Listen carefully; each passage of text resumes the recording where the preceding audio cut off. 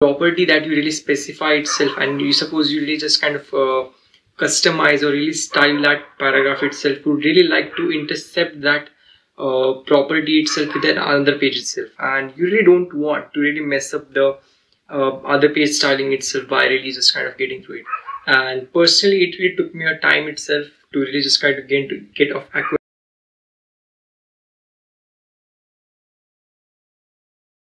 okay we are now at the right pace itself and just kind of really give you a brief nuance and brief scenario about what we are really going to discuss about uh, like after the introspection of really just kind of about the previous video itself. In the previous video of what I have learned in React it was around 36 minutes you know that was my one of the biggest video ever that I have made. Uh, in that video I have really uh, just kind of uh, just put the statement of uh, what the problem I face with CSS itself and and what really uh, you can how you can prevent it and what's the best way of doing all that things. So like what is the best way of uh, like doing things with CSS itself? What are the best practices? What are the best units itself? And it's just a kind of an overview and the brief scenario that I really want to share my experience about it now one thing I really want to tell you that I'm not a CSS guru or expert in by any far of the mean. so what I have really made up to right now about the Facemash itself so I have really completed right now the form itself and I'm really working on the AWS thing to really kind of authenticate and stuff all that thing so up to right now what I have really done in the front end itself and what problems I really faced in the CSS thing by using CSS in the React itself I just want to emphasize and kind of really share it to you. Now I really assume so if you are really if you are really watching my video right now and if you're watching this video particularly instance I really assume that you know uh, some of the basic things of the React itself some of the things that you really understand about the CSS itself what it is and what it is not. So without any wasting time let's continue on to the discussion itself. So what is the best way of coming out the things and really implementing the design itself. What are the best units itself uh, what should we use? Like whether it should be pixel whether it should be vh whether it should be something or something else like that.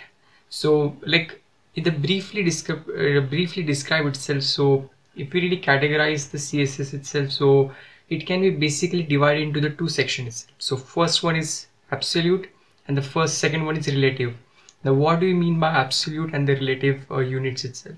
So the absolute unit is something which doesn't change. It doesn't give any sorry i like i just want to give it doesn't really give any some sort of uh, damn to uh, like any browser responsiveness. It doesn't give any damn to like uh, any like font responsiveness and it doesn't really give any shit to it and the response and the relative on the alternate hand it really just kind of adapts according to the your own preference setting of the font size setting itself. So when you go on to the uh, like mobile itself so the font size is generally less as compared to the desktop size because as usually you know the surface area is less and the screen display. So obviously we want as as much as information packed down the compact size itself so yeah. So there are there is one absolute and the second one is relative itself. So and when should you really use absolute versus relative itself? So we can really just so i have just explained what can be what is absolute versus what is relative itself.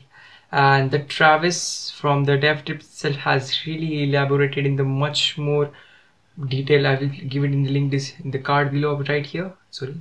Yeah somewhere right here yeah. So you can just check that out and yeah you can really learn really cool things out there itself. So but even though if you really learn that chances are you will really just kind of stuck into it and you really question yourself. It's is it so why there are so much units out there and which css unit should i really use? So as i've already told that you know the briefly like it can be elaborated into the two sections itself. So one is absolute one is relative.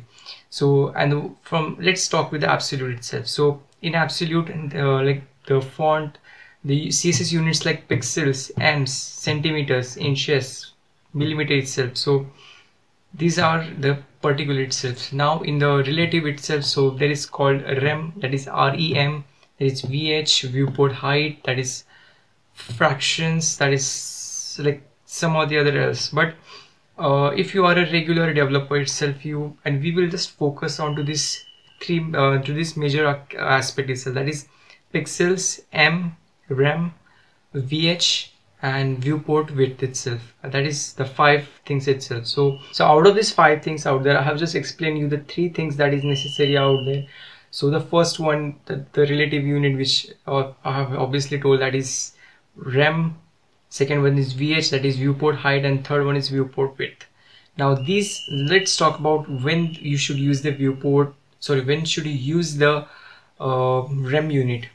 Now rem unit is especially uh, like helpful in while making in really using the font size really adjustable itself. So if you really just kind of like set to the fonts set the font size to the only pixel itself which just and you just really adjust to only that fixed size itself. So let's take a scenario itself when you are really uh, working on like any development in the front end UI project itself. So if you take uh, pixel for the fonts itself which is a relative itself so now you now on the desktop itself you have used the font size to the xy uh, like one pixel two pixel three pixel itself.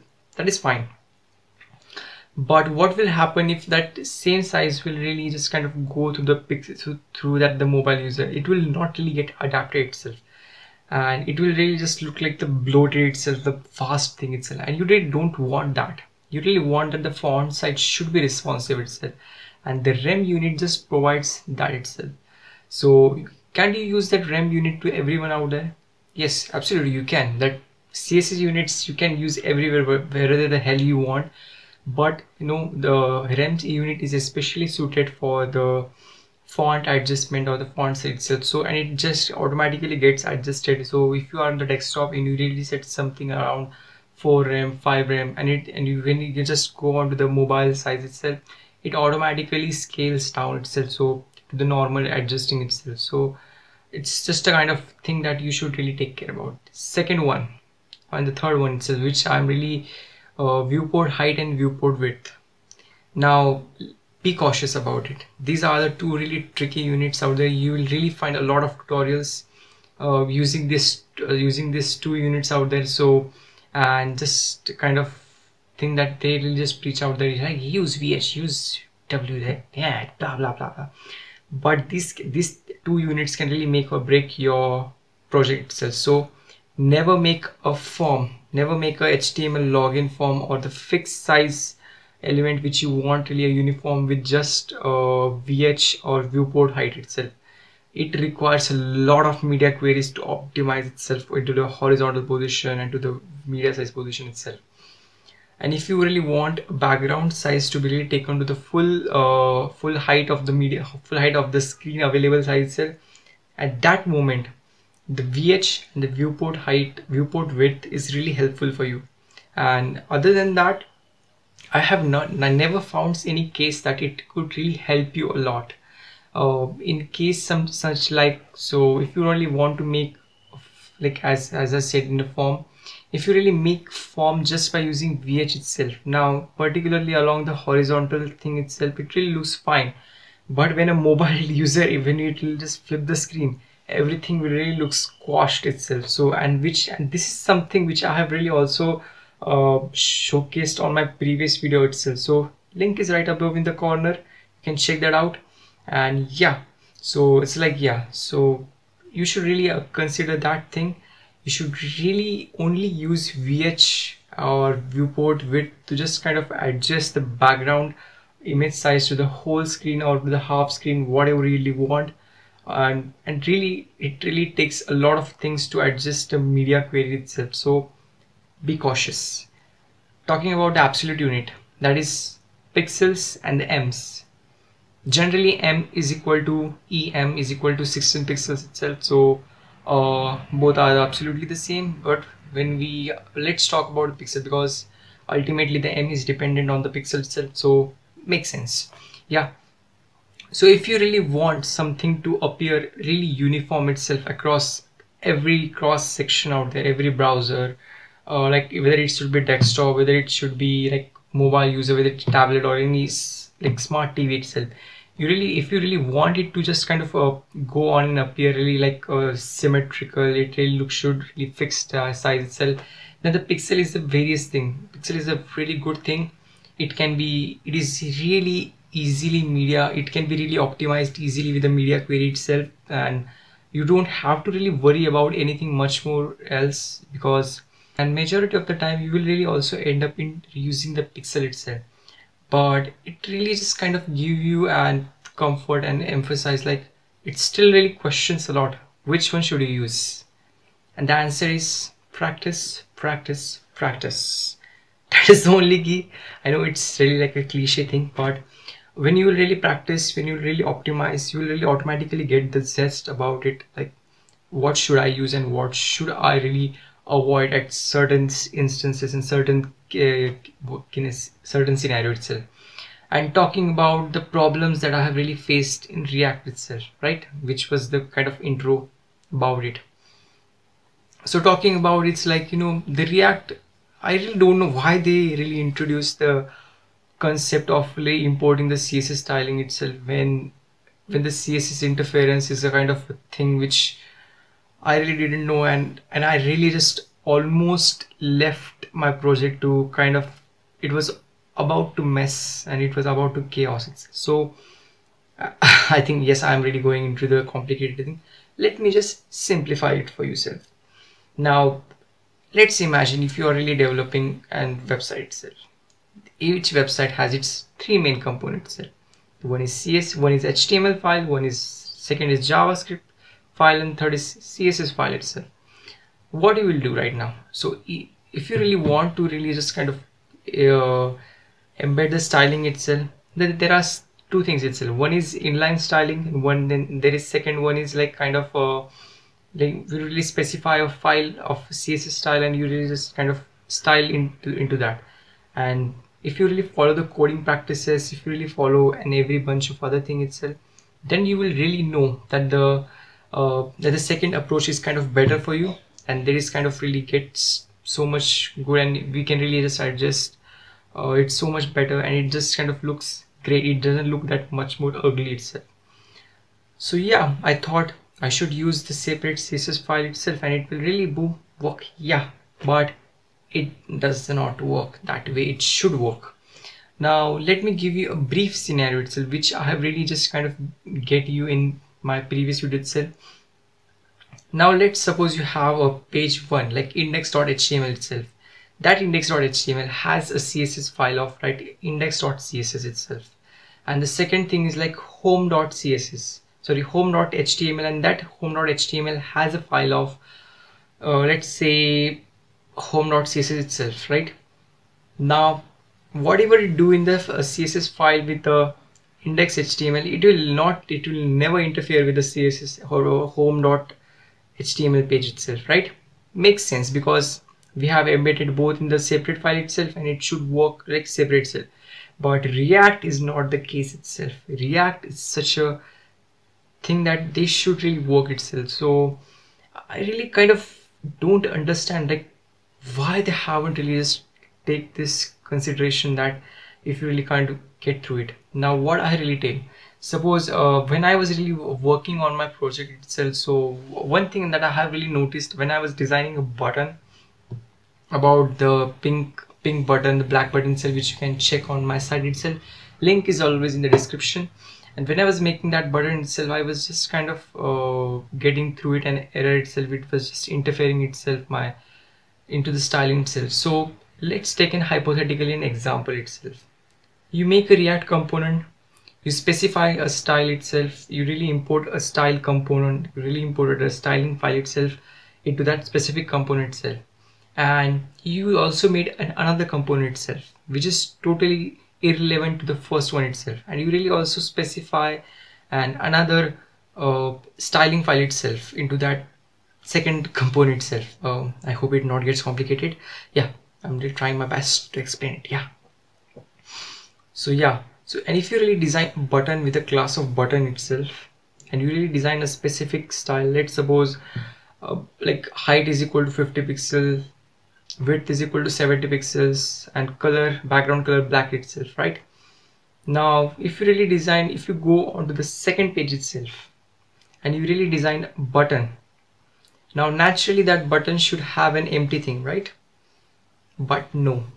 This time itself what will really happen is something like the css property from the first uh, page itself will really kind of interfere with the second thing itself. Now why this is happens? Even i don't know. Like i have never found something like which is really really absurd like something like this itself. And this is something which is really kind of tricky itself and to really just kind of and figure out in the advance itself. So what i really did is to really just kind of i was i did end up in using a different class tag itself to and then it really just kind of hey you have not styled it then you should really style itself. So the first page it was like button class is equal to button. And then the second page when i really just took up the like button class is equal to button 2 then i was able to really kind of style it into the much more different way itself. And no matter if you really like if you don't want a css bleeding or the css interference itself use the separate css class itself so that it will really help you to really maintain and to really fel, uh, like facilitate you to kind of style it into the really into your own manner itself. So like this was it. I just want to tell like what is the best css unit? What was the kind of thing that i really went through. And like what was this like how, what was my experience with it? And just kind of bunch of other things itself like yeah. And so so this was it guys. I really want to just tell you that I, what i really faced about my challenge itself what were the news complete itself. So uh, today's video was not really that good itself uh, in my opinion. Uh, yeah. And the tomorrow's or the sorry the next video that i'll be really uploading is like so what what are the really challenges out there um, in dealing with the aws uh, ecosystem out there? And i have really chose the serverless. Why? The detailed analysis is really coming to it's really coming soon and it is really going to be awesome. So and it trust me itself when i see awesome. It is to really be awesome itself right? Okay that was really an arrogant itself. So yeah and i'm really going to be giving a detailed analysis itself about uh, what was my decision regarding the serverless what are the things what are the data validation what are the stuff and and why i haven't really uploaded like any boring video or something like that in just one and a half week itself. So till then stay connected stay subscribed to my channel and see you next time and have a good day